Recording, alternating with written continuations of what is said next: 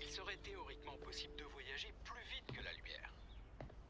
Ce phénomène peut en somme être considéré comme Patron. une sorte de raccourci à travers l'espace-temps. Je suis désolé. J'ai conscience de ne pas être à la hauteur, tu sais. Mais parfois, je me sens complètement dépassé. Et je sais que tu mérites bien mieux que moi.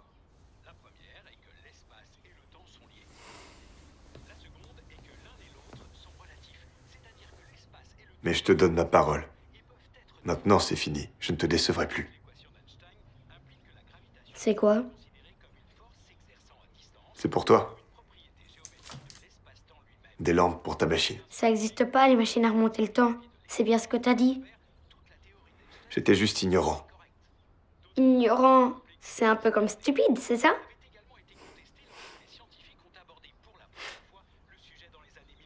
Allez, viens, on va les installer. Alors, la possibilité d'un voyage dans le temps n'est exclure. Mais un petit conseil, ne restez pas bloqué dans le passé. Profitez du présent et savourez chaque moment de bonheur qu'il peut vous apporter jour après jour.